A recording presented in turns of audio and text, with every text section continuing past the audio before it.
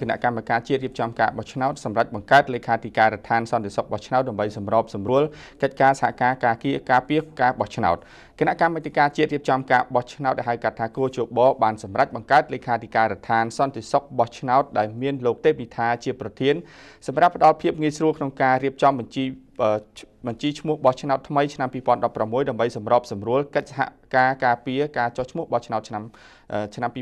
2017យោងតាមសេចក្តីសម្រេចស្តីពីការបង្កើតការលេខាធិការដ្ឋានសន្តិសុខបោះឆ្នោតនៃអគ្គលេខាធិការដ្ឋានគោជបចុះថ្ងៃទី3កញ្ញាដែលទៅចេញផ្សាយជាជាសាធារណៈកាលពីថ្ងៃម្សិលមិញបានដឹងថាសមាជិកភាពលេខាធិការដ្ឋានសន្តិសុខបោះឆ្នោតរួមមាន1លោកទេពវិថាអគ្គលេខាធិការជាប្រធាន ទី2លោកសោមសូរីដាអគ្គលេខាធិការរងជាអនុប្រធានទី3លោកម៉ៅសុភិរិទ្ធអគ្គលេខាធិការរងជាអនុប្រធានទី4លោកកៅផល្លាទីប្រឹក្សាគូជបនិងជាប្រធាននាយកដ្ឋានសេវាកម្មនិងវិវិធកម្មជាសមាជិកអចិន្ត្រៃយ៍5លោកកែរិទ្ធីជាទីប្រឹក្សាលោកជាប្រធាននិងជាអនុប្រធាននាយកដ្ឋានសេវាកម្មច្បាប់និងវិវិធកម្មនៃសមា នឹងជាសមាជិកទី6លោកឌីភិរុនជាអនុប្រធានលេខាធិការដ្ឋានជាសមាជិកទី7លោកស្រីសុករចនាជាប្រធានការិយាល័យសន្តិសុខបោះឆ្នោត